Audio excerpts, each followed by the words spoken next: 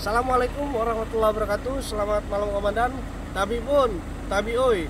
Salam presisi Polantas Musudi hadir Dengan saya Bribtu Fuad Fadli dari Jajaran Satuan Lalu Lintas Polres Musudi Pelampung Akan melaporkan live report tepatnya di depan SPBU Jaya Sakti kilometer 184 pada hari Kamis 23 Maret 2023 pukul 21.30 waktu Indonesia Barat dapat terpantau arus lalu lintas dari arah Sumatera Selatan menuju Bandar Lampung dan sebaliknya dari arah Bandar Lampung menuju Sumatera Selatan.